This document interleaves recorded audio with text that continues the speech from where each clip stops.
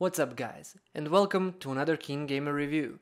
Today we'll be taking a look at the G-Track Pro USB microphone from Samson, so let's dive right in.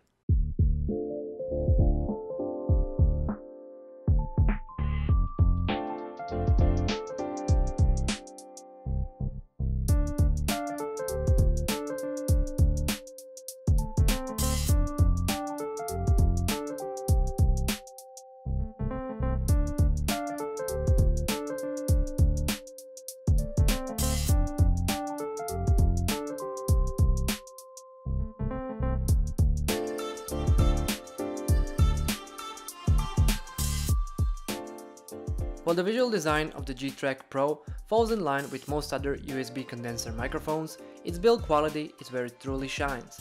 The G-Track Pro is simply put, built like a tank. The build quality is noticeable right out of the box, and its considerable weight gives further evidence that it's a serious piece of equipment.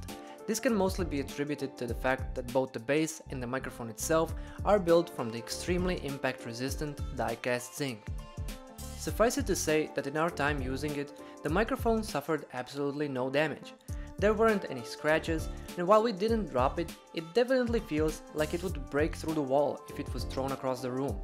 There's one area however that doesn't quite leave the same impression, the knobs. The problem is that they are not fixed firmly in place and instead wobble when you turn them. This can make them less precise, but more so makes them feel loose and not as high quality as the rest of the mic.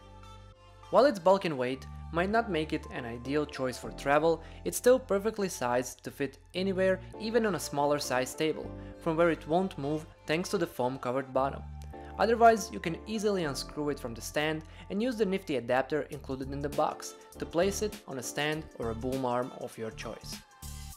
As far as the design, going from the top, you have the metal microphone grill with a clearly visible layer of foam covering the dual capsules inside.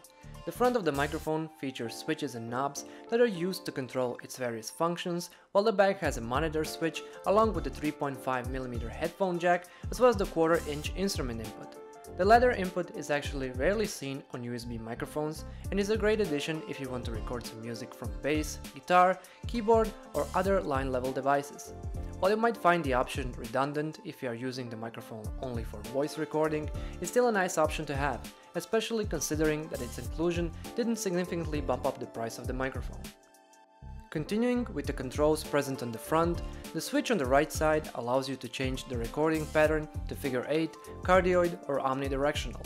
The left switch determines whether your voice and a connected instrument are outputted on a single track or two separate ones for easier editing.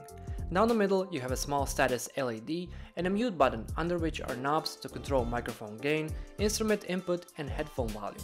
The fact that most controls are present on the microphone itself makes it extremely practical to use with no special software required for simple day-to-day -day usage. When it comes to performance, the G-Track Pro jumps ahead of some of its direct competitors by being able to record up to 96 kHz and 24 bits in a 20 to 50 Hz frequency range. Right off the bat, this fact alone generally means that the microphone will record extremely high quality sound that's a cut above what most USB microphones on the market have to offer. Sure, the level of sound quality can vary a bit depending on a number of factors, but you can be sure that it won't be anything other than great no matter the recording mode.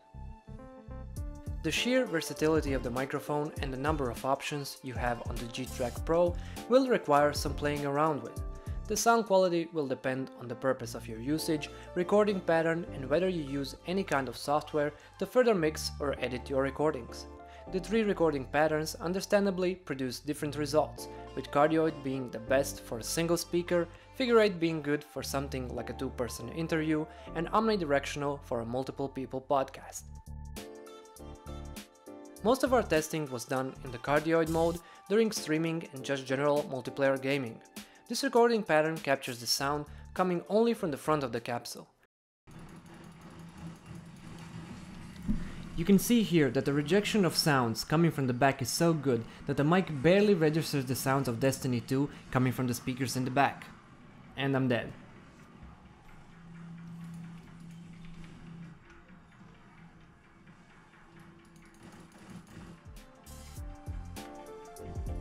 In fact, the G-Track Pro does sound cancellation very well on all recording patterns and brings consistently high sound quality as long as you use each one for their intended purpose and position yourself accordingly. And here you have a test of what it actually sounds like completely unedited in cardioid mode, with the microphone sitting slightly in front and to the left of the keyboard at around 40 centimeters away from me. To once again showcase how the pattern works, you can see that the cardioid mode barely registers the keystrokes happening in the back.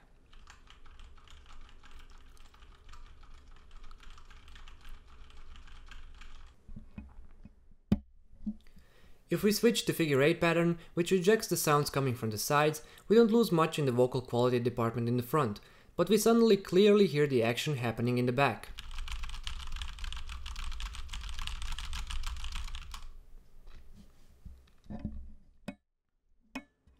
And finally, we have the omnidirectional pattern, which suffers from reduced gain and a narrower 360 degree recording area, requiring you to amp up the gain or get in a bit closer for optimal recordings.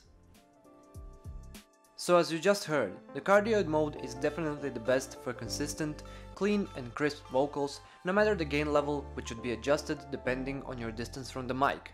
We achieved optimal results with no sound issues at 70% gain level and around 20 to 30 centimeters distance from the microphone. While the microphone doesn't utilize any form of digital signal processing, this didn't prove to be an issue during intense gaming sessions.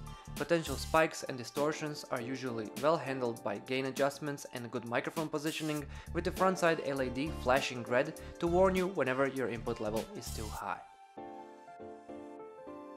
Headphone monitoring provides a lag-free experience, making it ideal if you are heavy into podcasting or singing. Pops and plosives can occur when in close proximity to the mic, but can easily be solved by offsetting the mic or purchasing a pop filter to place over the capsule. Thanks to the USB connection and all the relevant controls being present on the mic itself, you can just as easily connect it to other devices, like the PlayStation 4, and use it with no issues. Of course, having good software to mix your recordings can mean the world in terms of quality, but the G-Track Pro is great across the board, even without the usage of one.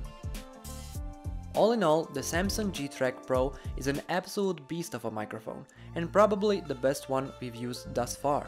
Its amazing build and sound quality, along with the versatility, make it unmatched at the same price point. While it might seem like overkill if you plan on using it only during gaming, it's an ideal choice if you want to take your audio recording setup to the absolute peak of what USB microphones have to offer.